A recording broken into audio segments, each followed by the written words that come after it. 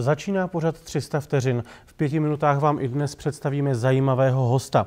Tentokrát vítám ve studiu předsedu Národního výboru Mezinárodní obchodní komory v České republice a zároveň čestného prezidenta Hospodářské komory České republiky, eh, pana doktora Jaromíla Drábka. Hezký podvečer. Dobrý den. Eh, pane doktore, prozaďte nám v úvodu, co je hlavní úlohou Mezinárodní obchodní komory, respektive jejího Národního výboru. Mezinárodní obchodní komora je celosvětová organizace, která už 90 let vytváří pravidla mezinárodního obchodu, zejména která se týkají pojištění, přepravních podmínek, rozhodčího řízení. A je to organizace, která združuje několik set tisíc členů na, které, na, na celém světě, takže ti členové mají možnost kromě eh, podílení se na tvorbě těch pravidel spolu také komunikovat o různých obchodních příležitostech. To znamená, že děláte i nějaké analýzy obchodu eh, se zahraničím a podobně? Eh, ano, samozřejmě, to se provádí na celosvětové úrovni. My se u nás v České republice zaměřujeme především na různá setkání, semináře, školení, vzdělávací akce a také na klubovou činnost, která našim členům zajišťuje to, aby eh, si mohli vyměnit zkušenosti se zahraničním eh, obchodem. Mhm. Velikým problémem posledního roku a půl je takzvaná hospodářská krize. Existuje podle vás nějaké účinné řešení?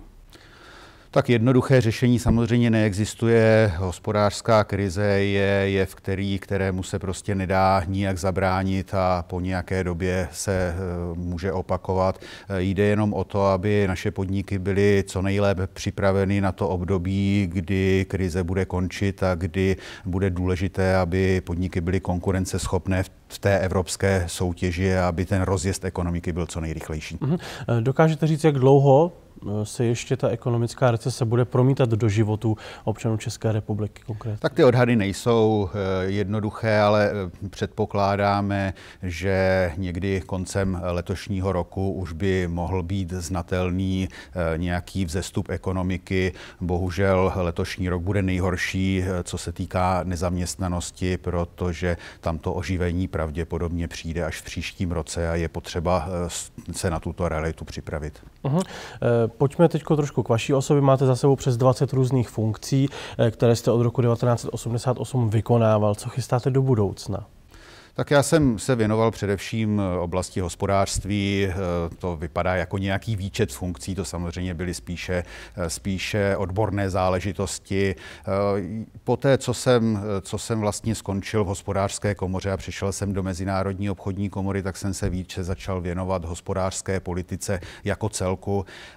Samozřejmě bych chtěl tyto zkušenosti využít, proto také kandiduji do poslanecké sněmovny a, a chtěl bych, abych mohl zúročit ty znalosti a zkušenosti, které jsem dosud získal, protože si myslím, že stát se dá řídit mnohem lépe, než eh, je tomu dosud. Jaké vlastně mm, zkušenosti se dají zúročit, pokud jste eh, třeba předsedal nebo byl jste v hospodářské komoře?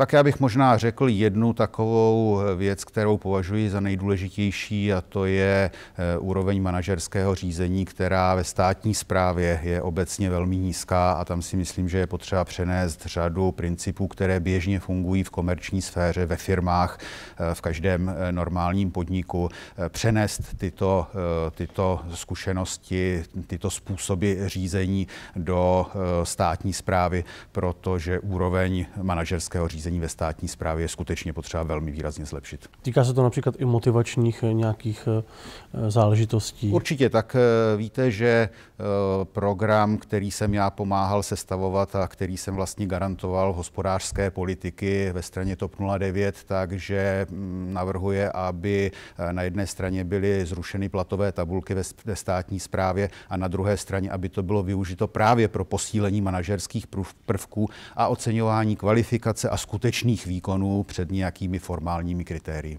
Mhm.